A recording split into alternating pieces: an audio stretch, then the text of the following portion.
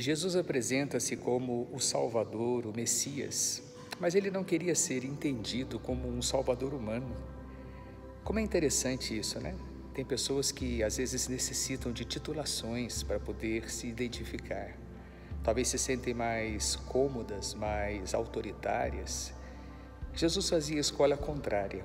Para ser o maior, para ser o primeiro, seja aquele que discretamente passa na vida de todas as pessoas. É uma grande lição. Sermos apresentados não pelas titulações que temos ou as conquistas feitas, mas apenas e de maneira muito profunda por sermos filhos de Deus. Que lindo isso! Entrarmos no coração humano, tentar transformar a vida humana a partir deste exemplo que o próprio Cristo nos deixou. Deus abençoe você.